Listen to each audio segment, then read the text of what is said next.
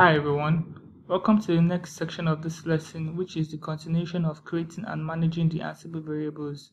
In the previous lesson we created and managed the Ansible variables outside of our playbook file and the in the order of precedence it fell in number 4.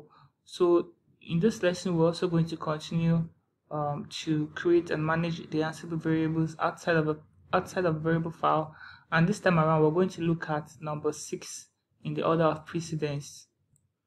And number 6 is inventory groups underscore var slash star.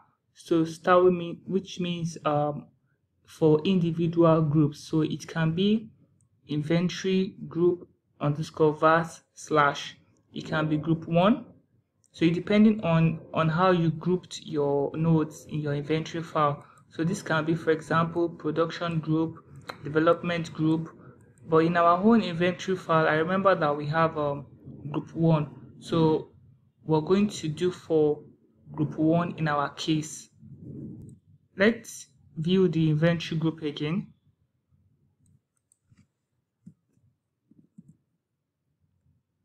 So here, if I cut our inventory file you can see that we have group 1 so depending on what you have um, you can also do that in your environment. And in group 1 we have the two these two nodes which is hqs dev1 and the local host.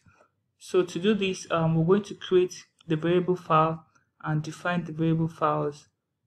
And to do that we can just do vim group vars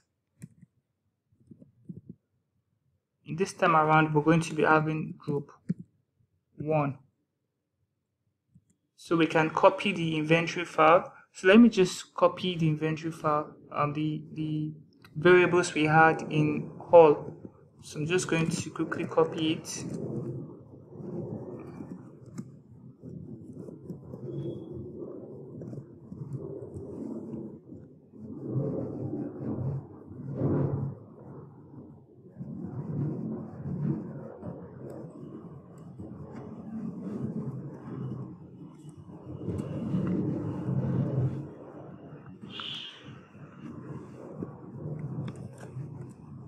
So now that we've been able to copy this, we can do our playbook syntax check.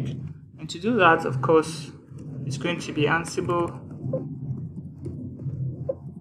playbook, my third playbook, syntax check. So this is fine. Now let's run our playbook. I'm going to pause the video. When this is done, I'm going to resume the video. So this is done and everything is fine. Uh, we don't have any field task.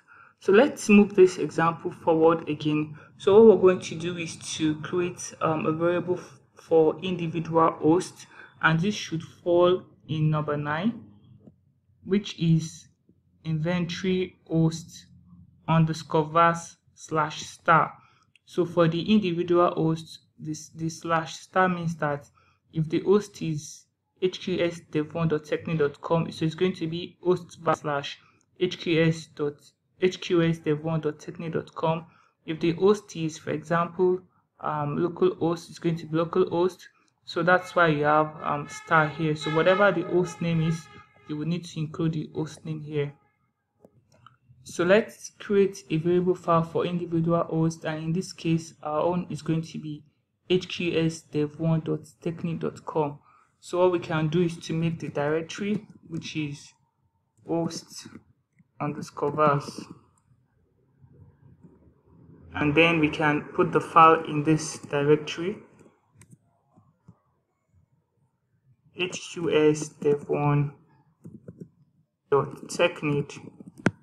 hqsdev1.tekneed com so I can include let me just copy and include it here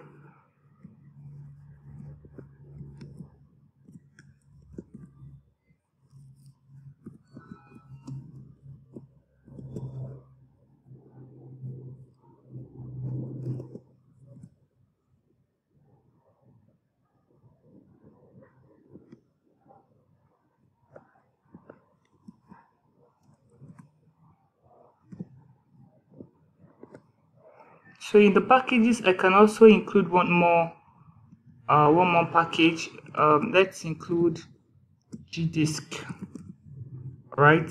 So that's how you can you know begin to increase your variable. And that's why it's advisable you have an external variable file. So wherever thing you want to include you can include it in your variable file.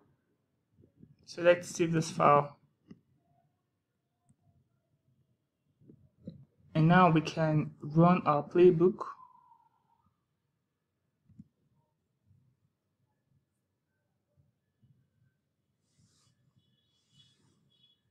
I'm going to pause the video and when it's done I'm going to resume the video. So this is done and we are fine. We don't have any changes. So apparently um we have gdisk already installed on both uh, on both nodes localhost and the hqs dev1.tekneed.com so we've been able to, def to define variables in three or four different ways now and let's also look at another method of defining the variable uh, defining variables in Ansible. This is going to be number 14, which is playvars underscore file. So here is number 14. And don't forget, like I've always told you, they follow each other um, when it comes to order of precedence. So the last one will take the higher precedence over the uh, previous one to do this example, I'll, I'll want to create another playbook file. So let's create another playbook file. Let's call this my fourth playbook.yml.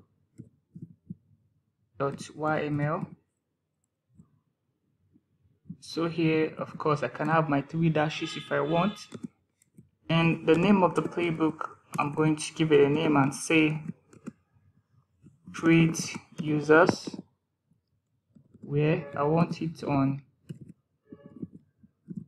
hqs dev1.tekneed.com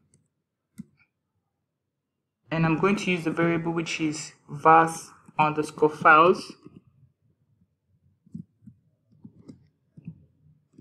I'm going to call the variable name classified. So the variable name is going to be classified. I can use any name. I'm just going to say classify.yml and then I'm going to have the task. I'm going to have the task here.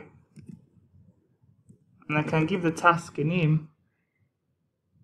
So I can just say create users and passwords. And to create user of course I'm going to use the user the user module and I'm going to use some arguments.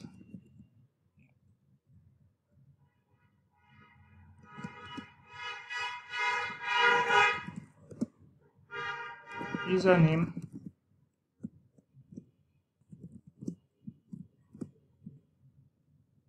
and the password.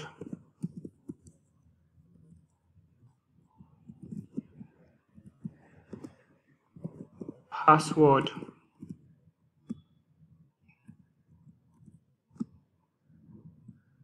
And state. Present so after doing this we've given a variable name which is classified.yml we need to create this variable and we also need to create uh, these dictionaries in this variable which is username and password. So let's do that.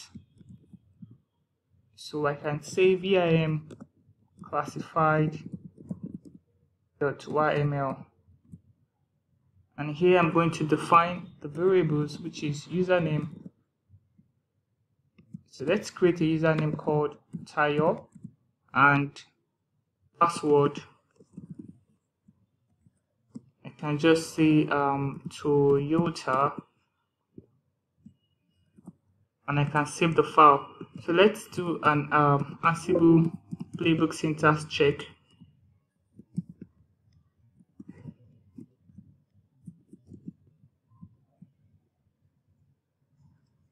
And let's run the playbook.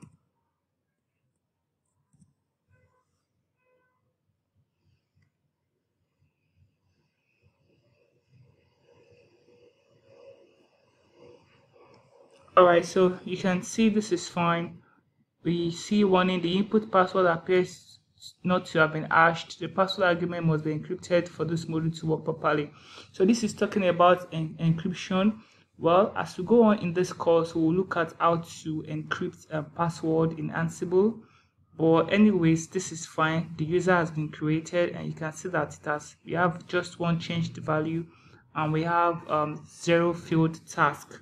So this is another way you can um, create variables in Ansible. So here is another method that we had to define the variable outside of a playbook.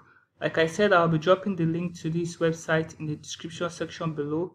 So you can check the website, check this particular lesson and you know, see how we did this. And you can also do the class activity here as well. So you can drop your comments in the description box, in the comment section box, either on this website or here on the YouTube channel. So um, this is how you can create, you can always create um, Ansible variables. And I want to say thank you for watching. Please don't forget to subscribe, like, share, and comment. This is how you can encourage us to do more for you. Thank you once more and bye for now.